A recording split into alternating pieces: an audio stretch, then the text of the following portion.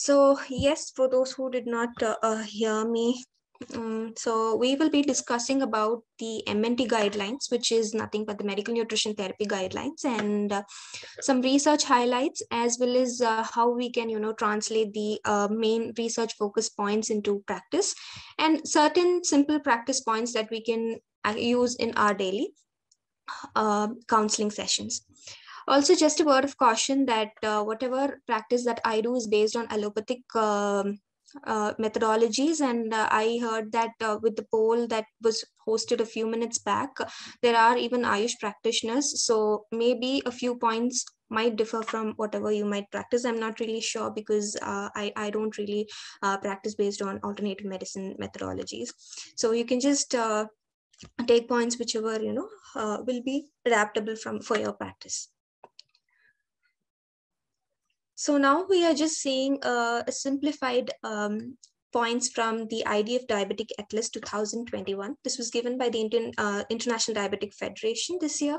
So they say that in Southeast Asia, around uh, two in one out of one in two adults live with undiagnosed diabetes. So the first point itself is very clear that undiagnosed diabetes is a threat to the entire, uh, you know, universe, and especially uh, for a cap uh, for a country like India, where we've been named as the diabetic capital.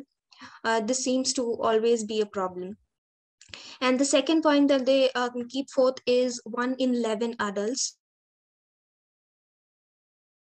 one in 11 might seem to be you know a smaller number but when we see it in the exact population rates it's around 90 million who are living with diabetes so i i would uh, really uh, think that around 40 to 50 percent out of this 90 million would be in india or even more and there is an estimate that around 7 lakh deaths would be caused just by diabetes in the year 2021 so uh, this is uh, how intense diabetes is becoming a problem day to day. The major issue here is we aren't looking it as a disease anymore because it's it's become a condition and it's become more common in the population that uh, people are very negligent about that, ignorant about that. So when we talk about the diagnostic criteria, as most of the practitioners uh, follow the ADA guidelines, uh, so uh, we have fasting more than 200 mg or a random blood glucose, uh, sorry, an A1C more than 6.5 uh, can be used as a diagnostic criteria to diagnose a person with the type 2 diabetes.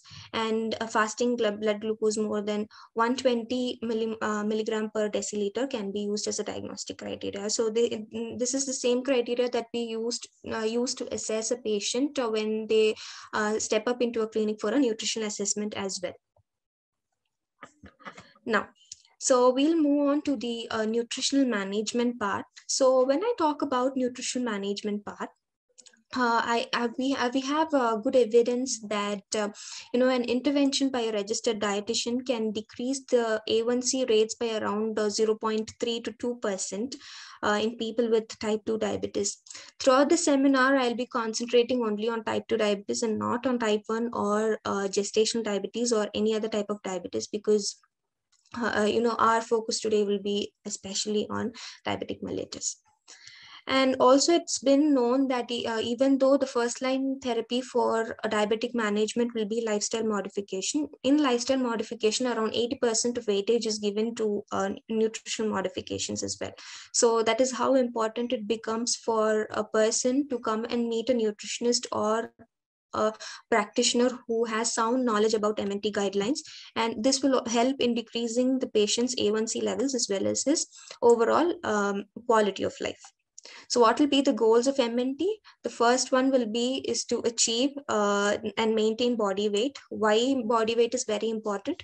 Because body weight adds on to insulin resistance and there is also evidence to show that even one uh, uh, kg decrease in body weight can also bring down the A1C levels and also uh, to attain individualized glycemic blood pressure and uh, lipid goals. So this will be uh, individualized based on the patient's uh, current blood parameters. And the third one is to delay or prevent the complication of diabetes. Like most of them say, uh, once you have diabetes, then it's a gateway to almost all the organ related complications. So we have to prevent uh, the complications as soon as possible.